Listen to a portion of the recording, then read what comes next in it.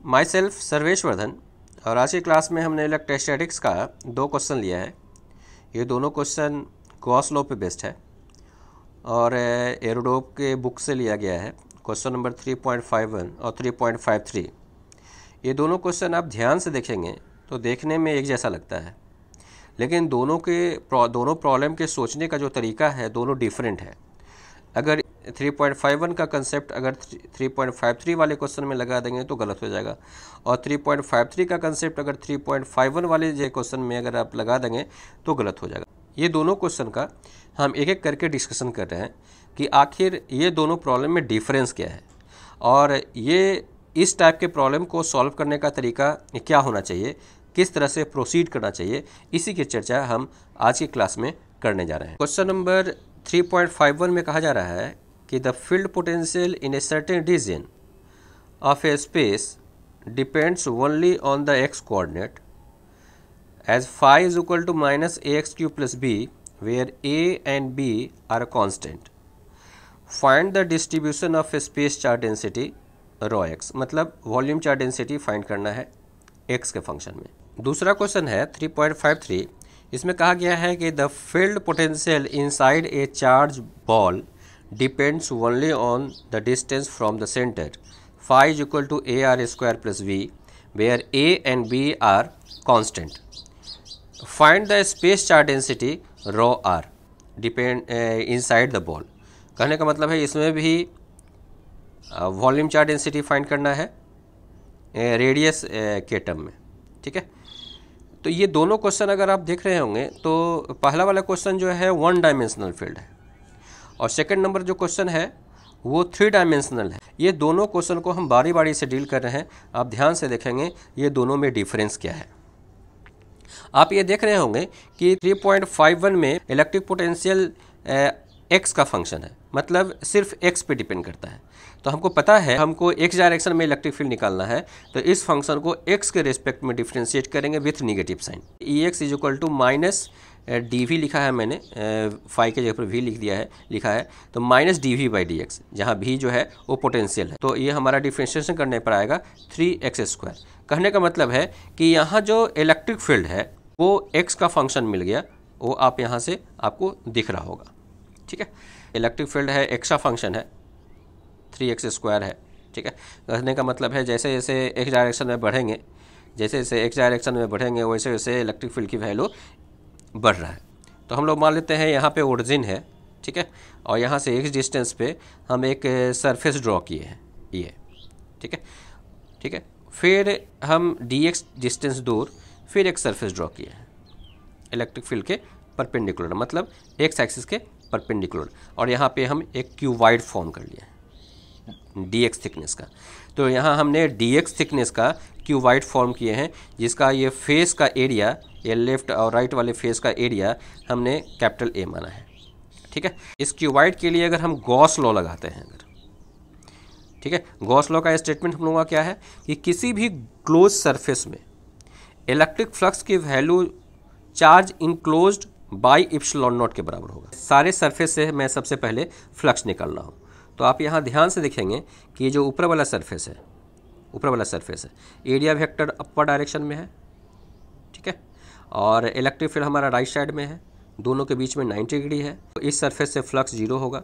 ठीक उसी तरह से डाउनवर्ड जो सरफेस है, उसमें एरिया वेक्टर डाउनवर्ड डायरेक्शन में है इलेक्ट्रिक फ़ील्ड हमारा राइट साइड में है, दोनों के बीच में 90 डिग्री है तो इससे भी फ्लक्स ज़ीरो होगा। ठीक उसी तरह से फ्रंट सरफेस और बैक सरफेस ये चारों सरफेस से मतलब अपर लोअर फ्रंट और बैक ये चारों सरफेस से इलेक्ट्रिक फ्लक्स का वैल्यू ज़ीरो होगा। अब रही बात हमारा लेफ़्ट सरफेस और राइट सरफेस तो मान लेते हैं कि एक्स कोऑर्डिनेट पे इलेक्ट्रिक फ़ील्ड की वैल्यू ई एक्स है। और यहाँ से डी एक्स डिस्टेंस बढ़ गए हैं तो यहाँ जो कोऑर्डिनेट होगा, इस पॉइंट पे कोऑर्डिनेट होगा, वो एक्स प्लस डी एक्स होगा और यहाँ पे इलेक्ट्रिक फ़ील्ड की वैल्यू होगा E x plus d x अब हमें लेफ़्ट सरफेस और राइट सरफेस से फ्लक्स निकालना है। लेफ़्ट वाले सरफेस के लिए देखते हैं, देख सकते हैं कि इलेक्ट्रिक फ़ील्ड हमारा राइट साइड में है और एरिया वेक्टर लेफ़्ट साइड में है। तो यहाँ पर जो फ्लक्स होगा, वो होगा ई एक्स ठीक है? इंटू ए इंटू कॉस एक सौ अस्सी डिग्री उसकी वजह से ये माइनस साइन आया है। और ये जो सरफेस है हमारा ये। तो ये सरफेस में इलेक्ट्रिक फ़ील्ड हमारा राइट साइड में है एरिया वेक्टर हमारा राइट साइड में है तो फ्लक्स का वैल्यू होगा E x plus d x into area a into cos zero degree total cuboid के थ्रू ये हमारा टोटल फ्लक्स की वैल्यू इतना हुआ, और ये हमारा इक्वल होना चाहिए चार्ज इनक्लोज के। तो इसका वॉल्यूम होगा हमारा कितना? तो आप यहाँ से देख सकते हैं कि ये डी एक्स हमारा डी एक्स हमारा ये थिकनेस है। क्रॉस सेक्शन एरिया ए है। तो ए डी एक्स हमारा वॉल्यूम हो जाएगा। डी एक्स की वैल्यू बहुत कम है तो हम इस डी एक्स लेंथ के लिए हम रो का वैल्यू कॉन्स्टेंट मान सकते हैं। तो ये क्यूबाइट के अंदर जो चार्ज होगा, वो रो ए डी एक्स ये टोटल चार्ज हो गया इनक्लोज बाई इप्सलॉन नॉट ठीक है? तो आप यहाँ से देख सकते हैं एरिया ए जो है दोनों तरफ़ से कट जाएगा और डी एक्स से यहाँ डिवाइड कर देंगे तो ये हमारा ये आ जाएगा। इतना इज़ इक्वल टू रो बटा इप्सलॉन नॉट यहाँ से आ गया, ये डिफ्रेंशिएशन का डिफिनेशन है। ठीक है? E x plus d x minus E x बटा डी एक्स जो होगा, ये differentiation of electric field with respect to x होगा इज़ इक्वल टू रो बटा इप्सलॉन नॉट तो ये हम फार्मूला वन डायमेंशनल फ़ील्ड के लिए हम लोग अप्लाई कर सकते हैं। और अब हम इस केस में हम इसको अप्लाई कर रहे हैं। तो इलेक्ट्रिक फ़ील्ड का हमें फार्मूला आया हुआ है।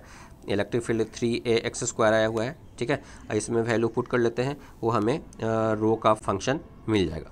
इस फ़ंक्शन में electric field d by d x electric field का function three a x square put कर दिए इज़ इजिकल टू रो बटा इप्सलॉन नॉट रो का वैल्यू आ गया three a epsilon naught x ठीक है? ये हमारा सॉल्यूशन होगा। तो इस तरह से हम वन डायमेंशनल फ़ील्ड के लिए, जिसमें पोटेंशियल हमारा सिर्फ़ एक डायरेक्शन में वेरी करता है, वो उसके लिए हम ये फार्मूला अप्लाई कर सकते हैं। 3.52 में कहा जा रहा है कि इलेक्ट्रिक फ़ील्ड जो है ना, वो रेडियली वेरी कर रहा है। रेडियली वेरी करने का मतलब क्या हुआ? कि इस तरफ़ इलेक्ट्रिक फ़ील्ड है। यहाँ से रेडियल डायरेक्शन में इस तरफ़। इस तरफ़ से। इस पॉइंट से ऐसा लग रहा है कि इलेक्ट्रिक फ़ील्ड लाइंस निकल रहा हो। तो अगर ऐसा वेरिएशन है तो इसको वन डायमेंशनल नहीं कहेंगे। ये थ्री डायमेंशनल वेरिएशन है।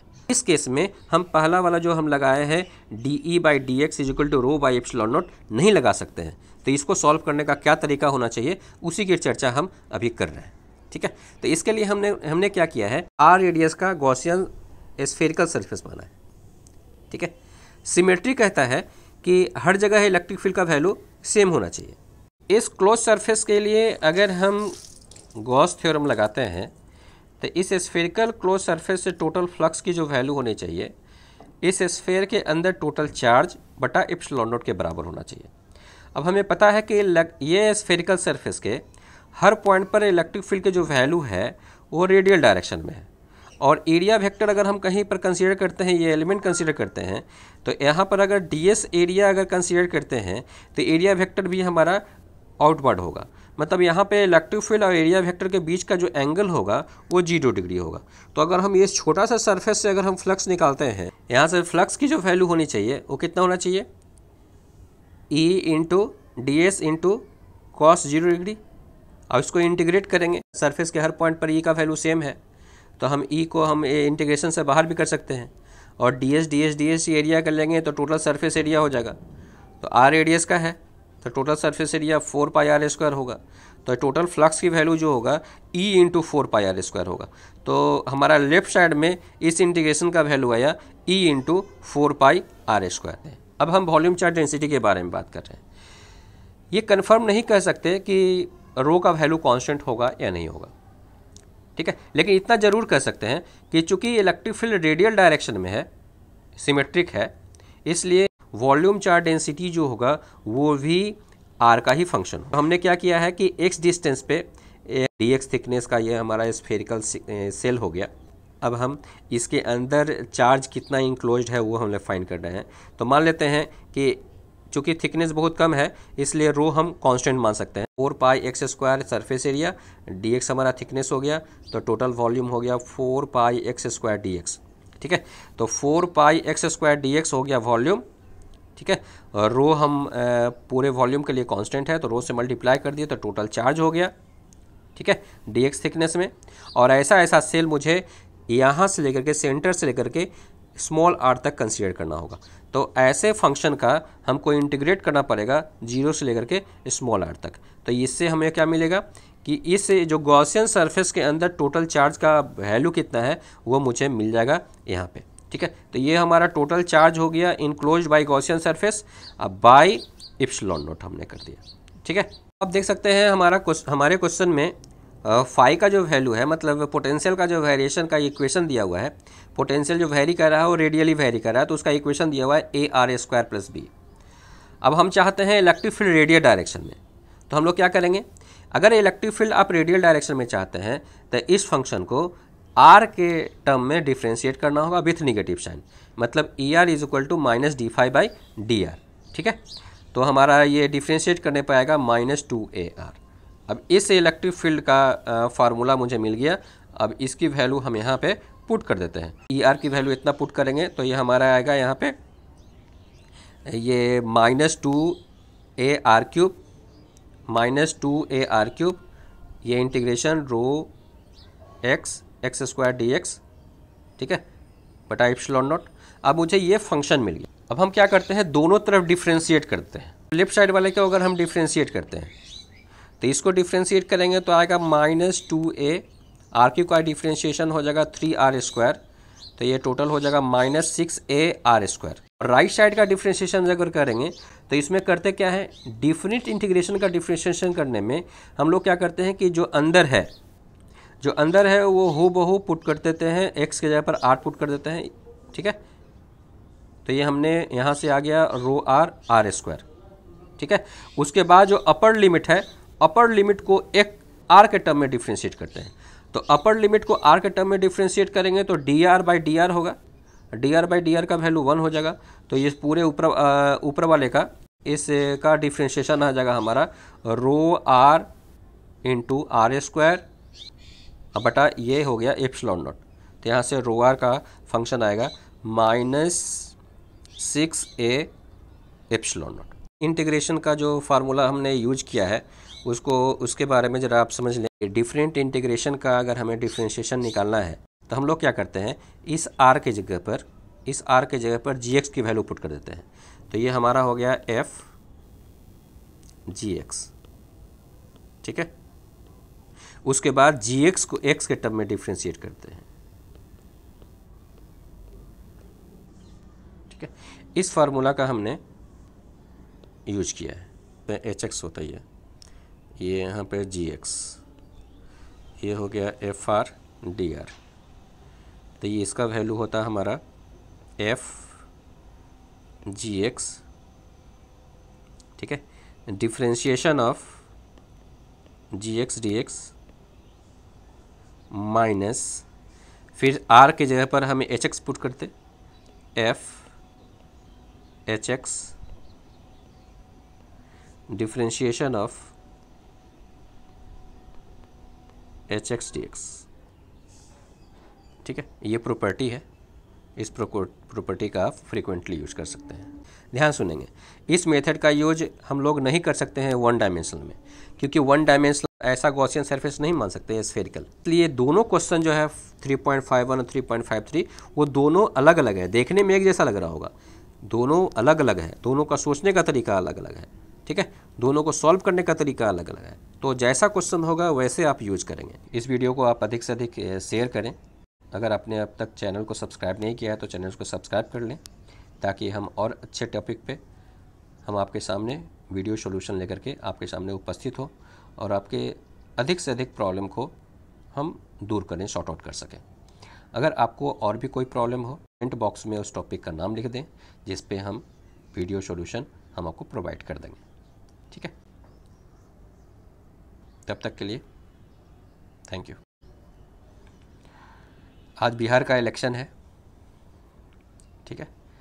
आप सोच समझ कर वोट दें। मैं किसी पार्टी का नाम नहीं दूँगा, लेकिन इतना ज़रूर कहूँगा कि आप जितने भी स्टूडेंट और हम सभी शिक्षकगण हैं, वो निफ़िक्र रूप से पटना में रह कर के पूरे बिहार के बच्चे हमारे पटना में आते रहते हैं, पटना में आकर के पढ़ते हैं। पेरेंट्स निफ़िक्र रहते हैं कि हमारा बच्चा सुरक्षित होगा। वो सिर्फ़ नीतीश जी के कारण है।